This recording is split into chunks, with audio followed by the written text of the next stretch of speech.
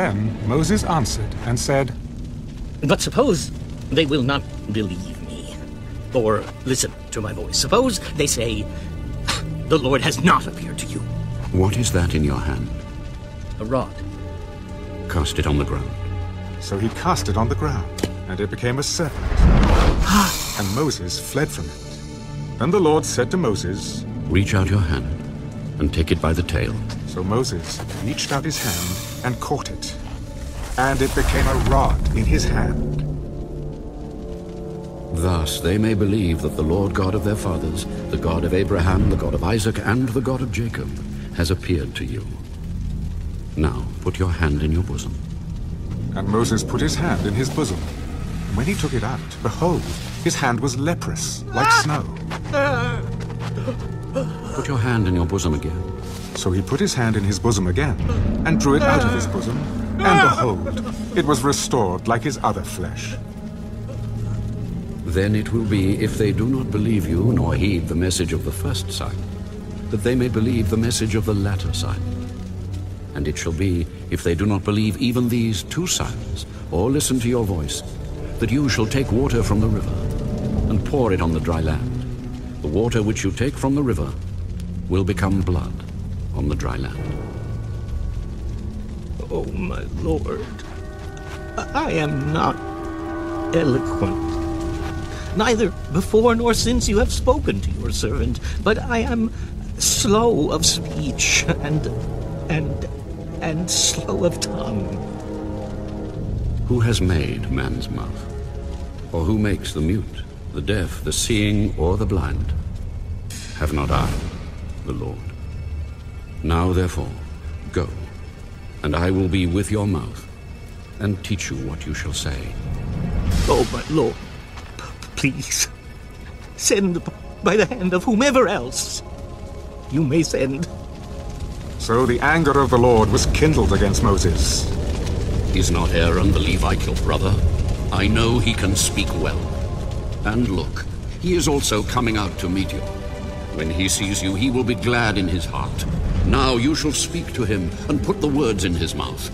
And I will be with your mouth and with his mouth. And I will teach you what you shall do.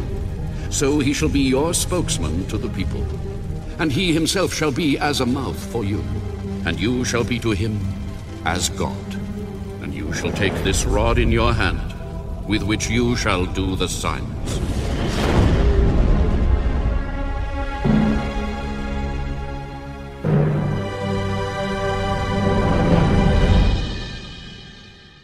So Moses went and returned to Jethro, his father-in-law, and said to him, Please let me go, and return to my brethren who are in Egypt, and see whether they are still alive. Go in peace. Now the Lord said to Moses in Midian, Go, return to Egypt, for all the men who sought your life are dead. Then Moses took his wife and his sons, and set them on a donkey, and he returned to the land of Egypt. And Moses took the rod of God in his hand. And the Lord said to Moses, When you go back to Egypt, see that you do all those wonders before Pharaoh, which I have put in your hand.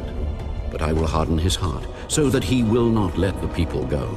Then you shall say to Pharaoh, Thus says the Lord, Israel is my son, my firstborn. So I say to you, Let my son go, that he may serve me. But if you refuse to let him go, indeed I will kill your son, your firstborn.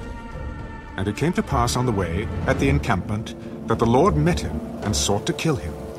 Then Zipporah took a sharp stone and cut off the foreskin of her son, and cast it at Moses' feet. Surely, you are a husband of blood to me. So he let him go, You are a husband of blood. because of the circumcision. And the Lord said to Aaron, Go into the wilderness to meet Moses. So he went and met him on the mountain of God, and kissed him. So Moses told Aaron all the words of the Lord who had sent him, and all the signs which he had commanded him. Then Moses and Aaron went and gathered together all the elders of the children of Israel. And Aaron spoke all the words which the Lord had spoken to Moses. Then he did the signs in the sight of the people. So the people believed. And when they heard that the Lord had visited the children of Israel, and that he had looked on their affliction, then they bowed their heads and worshipped.